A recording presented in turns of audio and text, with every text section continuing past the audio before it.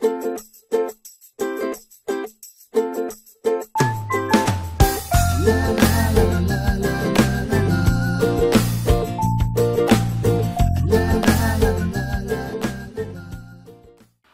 everybody and welcome to this new DevPills episode.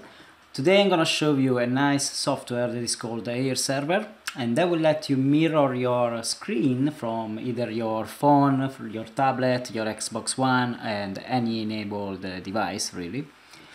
It will let mirror your screen onto your PC. So if we want to see that the other way around, it will convert your laptop, your PC, into a video stream receiver. I don't know if you noticed, but in our previous episode of DevPills, Stefano showed us Enki, a very good app to keep improving your development skills. And in order to show the app on our laptop screens, we used AirServer. So let's see immediately how to use this application.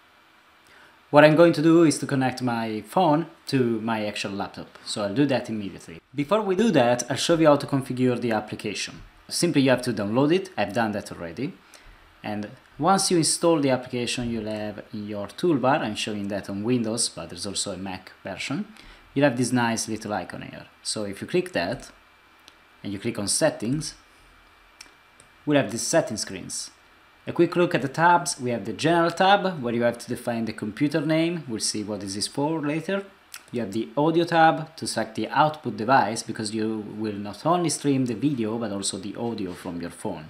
Display those are configurations that you can set for your monitor as well as mirroring you can optimize the streaming for the actual display resolution that you have you can also define a buffer you have a few post-processing options like sharpness brightness contrast saturation and hue and a few advanced options once you have configured those ones the most important one is under general you can see here you can disable AirPlay or Miracast or Google Cast. I keep all of them enabled and in my case I'll be using Google Cast.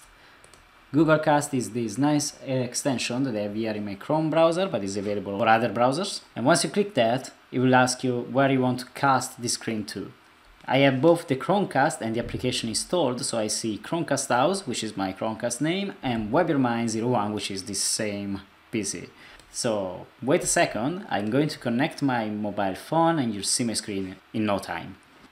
Here we are, you can actually see my Samsung Galaxy S6 stream and the way I did that is I went into my Play Store and I opened the Google Home application that you should have already installed if you have an Android phone. There are other ways to do that with an Apple device like an iPhone and you can read the documentation on the AirServer website in order to do that.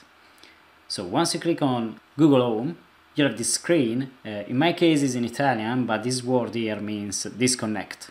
In your case, you'll have something else like send audio video stream. Once you click that button, you'll have a similar window to the one I just showed you for Google Cast. You'll select uh, your computer name and you'll immediately get the stream.